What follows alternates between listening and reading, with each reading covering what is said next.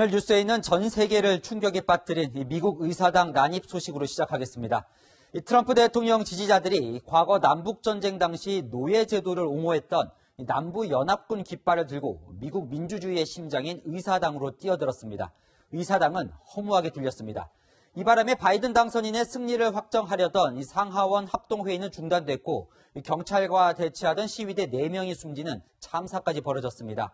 의사당 난입 사태는 1814년, 그러니까 207년 전 미영 전쟁 때 이후 처음입니다. 미국의 민주주의와 공권력이 어쩌다 이 지경이 됐나 안타깝지만 이 회복도 빠르게 진행되고 있습니다. 먼저 워싱턴 김정한 특파원입니다. 시위대가 흑인 노예제를 옹호했던 남부연합기를 흔들며 의사당을 향해 진격합니다. 순식간에 바리케이트를 무너뜨리고 일부는 상원 건물 2층 창문 밖으로 올라가 성조기 대신 트럼프 지지 깃발 개양을 시도합니다. 바이든 대통령 당선인을 확정하는 상하원 합동회의 중인 의회를 트럼프 지지 시위대들이 습격한 겁니다. 바리케이드를 뚫고 의사당 계단을 점거한 트럼프 지지자들은 이렇게 결사항전을 선언하며 선거 결과에 굴복할 수 없다는 주장을 이어갔습니다. 이들 중 상당수는 총기를 소유한 것으로 알려지면서 주변 일대는 긴장감이 감돌고 있습니다. 시위대 난입 소식에 의원들은 황급히 무장 경호원의 어모 속에 긴급 대피했습니다. 유리창을 깨고 의회 사무실까지 점거하려 하자 총성이 들리고 현장은 아수라장으로 돌변했습니다.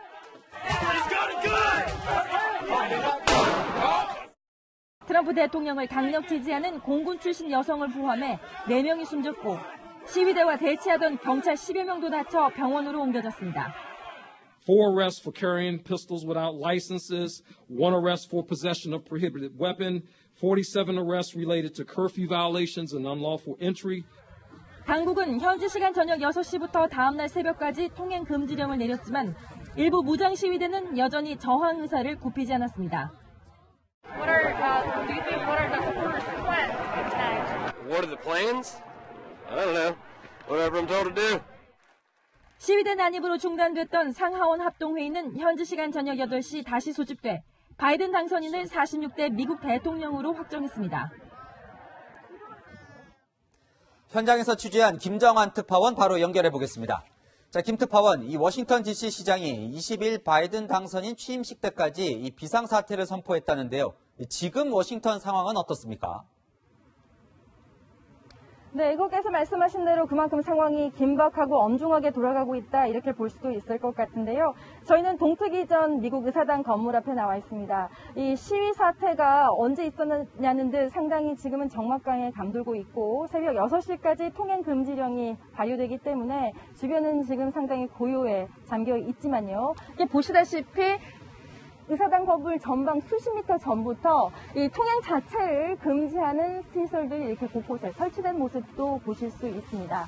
시위 현장에서 만난 경찰은 저희 채널의 취재진에 시위대 상당수가 몰래 총기를 소유하고 있기 때문에 소지하고 있기 때문에 각별한 주의를 당부했고요. 만약에 총성이 들린다면 즉각적으로 몸을 피할 수 있는 곳부터 찾아 뛰라는 그런 당부도 잊지 않았습니다. 사실 시위대는 오전까지는 백악관 인근에서 비교적 평화적 시위를 이어갔는데요. 상황이 급박하게 진행되는 것은 바로 이곳 의사당 앞으로 장소를 옮긴 뒤, 그러니까 오후 2시경부터입니다. 현장에서 지켜본 시위대는요, USA, US를 연호하고 미국 국가를 함께 부르면서 무단 이 의사당 안으로 진입을 시도했는데요. 그로부터 한 3시, 그러니까 그로부터 한 1시간 뒤인 오후 3시경 한 시위대 여성이 총격을 받고 중태에 빠졌다는 소식이 전해지면서 상황은 더욱더 험악해지기 시작했습니다. 이 의사당 건물 주변에서는 폭발물이 발견이 돼서 FBI가 긴급 출동하는 사태도 벌어졌는데요. 약 4시간 뒤, 그러니까 난입을 시도한 지 4시간 뒤쯤 긴급 출동한 방위군과 경찰들이 쫓겨 시위대는 일단 바깥으로 쫓겨났고 다만 도심 곳곳에서 이들은 밤새 시위를 이어갔습니다. 이 의회까지 난입한 이 시위대는 대체 어떤 사람들인가요? 김특파원이 직접 만나봤죠. 그렇습니다. 이 크게 이 두 그룹으로 나눠 볼 수 있을 것 같은데요. 이 현장에서 만난 한 30대 남성은 무려 앨라배마에서 15시간을 혼자 운전해서 이곳을 찾아왔다고 얘기했습니다. 개인적으로 참여했다는 말도 덧붙였는데요. 하지만 한편에서는 무장한, 그러니까 군복을 입고 방탄조끼를 입고 이 조직적으로 움직이는 프라우드 보이즈 같은 조직원들도 상당히 눈에 띄었습니다.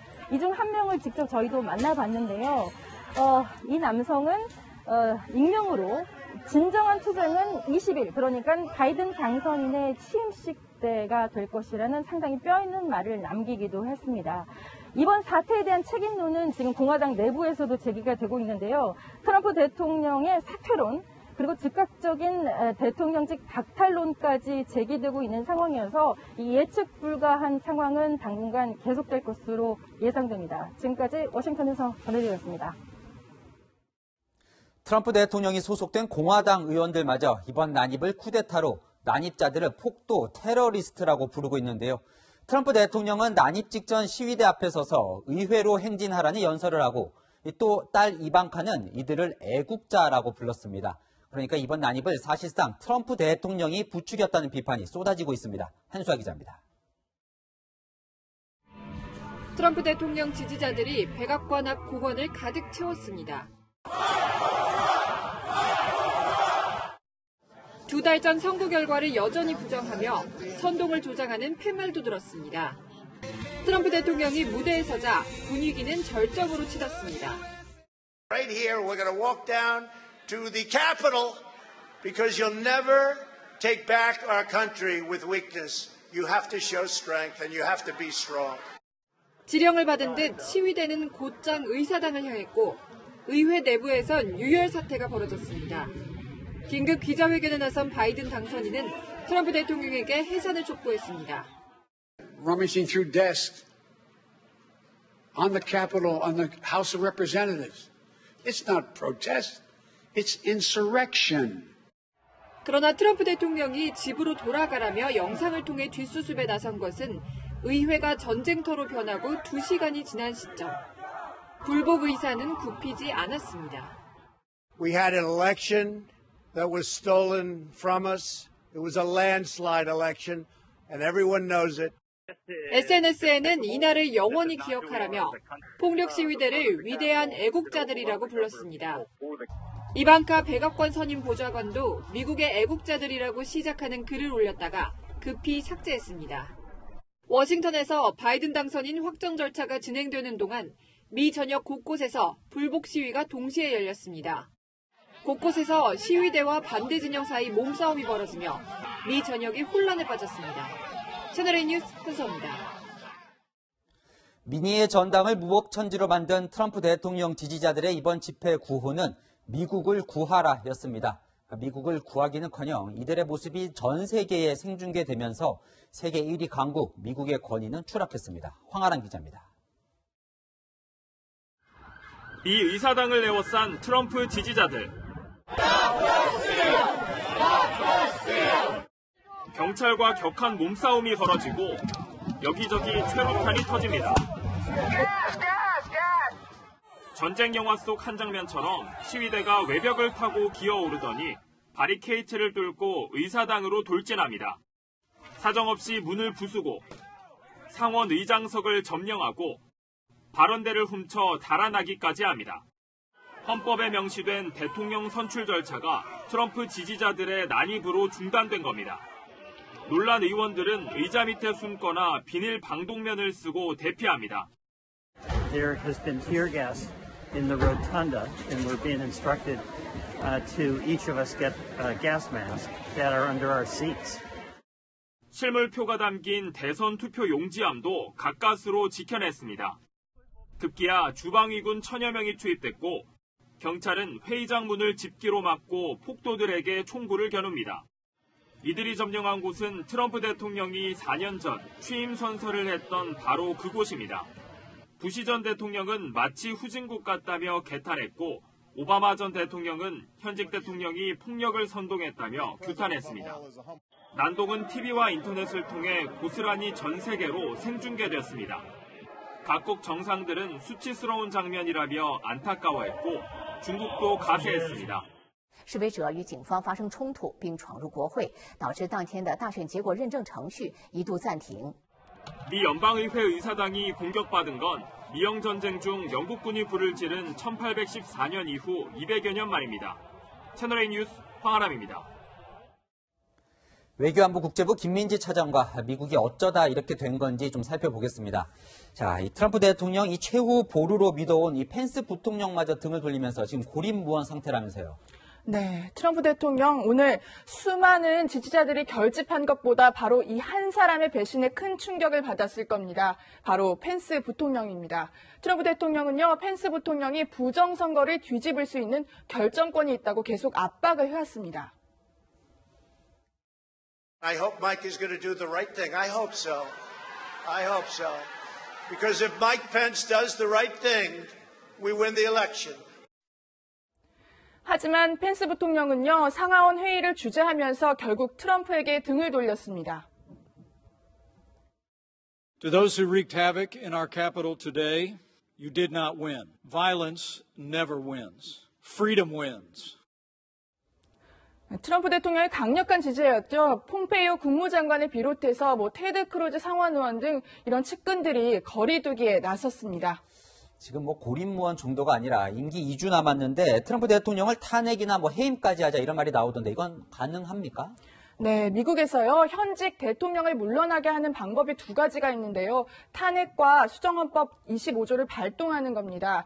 수정헌법 25조는 대통령이 그 직의 권한과 의무를 수행할 수 없다고 판단될 경우 부통령이 직무를 대행, 대행하도록 허용을 하는 건데요. 사실 이 수정헌법 25조가 생겨난 배경이 1963년 존 F 케네디의 암살 사건 때문입니다. 그래서 67년에 만들어졌는데요. 실제로는 실행된 적이 없습니다. 없습니다. 하지만 트럼프 대통령이 가짜 뉴스를 퍼뜨리면서 분열을 조장하고 있는 위험한 인물인 만큼 민주당 측은요 즉각 쫓아내야 한다는 게 그런 주장이 나오고 있고요. 공화당 일부 인사들도 CNN 측 보도를 통해서 이런 의견에 동조를 하고 있습니다. 만약에 25조를 발동하려면 이 펜스 부통령과 내각의 과반수 동의가 필요한데요. 트럼프 대통령의 임기가 2주밖에 안 남은 게 결국 변수란 얘기도 나옵니다.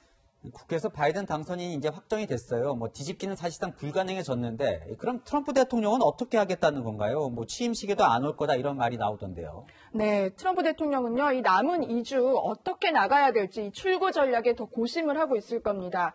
선거 결과는 인정할 수도 없고 관례상 전임 대통령들이 참석하는 대통령 취임식도 간다고 한 적이 없습니다. 스코틀랜드에 골프를 치러 가려고 했는데 오히려 스코틀랜드 측에서 거부했다 이런 보도까지 나왔는데요. 이런 트럼프 대통령의 자신감에는 대선 결과가 영향을 미친 것으로 보입니다. 트럼프 대통령은 4년 전 선거 때보다 1천만 표 이상 많은 7,400만 표를 더 얻었습니다. 대선 패자 중에는 최다 득표입니다. 바로 이 선거 결과, 이 득표를 바탕으로 2024년 바로 4년 뒤죠. 대선 재출마를 할 것이란 얘기까지 나왔 는데요. 이번 폭력 시위 사태를 생중계로 본 중도층들이 일부 돌아설 수도 있다. 이런 분석도 나옵니다. 그래서 이게 궁금한데요. 오늘 이런 이렇게 시위대에 이런 세력이 진짜 극소수입니까? 아니면 실제 승복하지 못하는 국민이 이렇게 많은 겁니까? 네, 사실 뭐 지금 미 언론들은요, 이번 시위에 수천 명의 트럼프의 극성 지지자들이 모였다 이렇게 보도를 했는데요. 아주 많다고 볼 수는 없지만 적다고 무시할 수 있는 수준이 아닙니다. 트럼프 대통령의 지지층인 만큼 백인들이 대다수인데요. 만약에 이 조지 플로이드 사태 때처럼 만약에 아주 만약에요 대규모 시위처럼 그때처럼 흑인들이 의사당에 난입을 한다면 더 큰 참사를 불러 일으켰을 수도 있다 이런 주장까지 나옵니다. 아까 김정한 특파원 말에 따르면 이 만난 시위대가 대통령 취임식 때 다시 모일 거다 이런 경고를 했다는데 20일 이 대통령 취임식은 제대로 열릴 수 있을까요? 네, 지금 취임식이 열려야 될 워싱턴 DC는요, 워싱턴 DC 시장이 취임식까지 비상사태를 연장한 상태입니다. 총기 휴대 금지나 심야 통행 금지 등 강력한 조치가 있을 수 있는데요. 그럼에도 취임식은 예정대로 열릴 것 같습니다. 트럼프 대통령도요, 바이든 당선인의 승리가 의회에서 확정이 되자 성명을 내고 이번 선거에서 전적으로 동의할 수는 없지만 오는 20일 질서 있게 정권 이양을 하겠다 일단 이렇게 밝혔습니다. 네.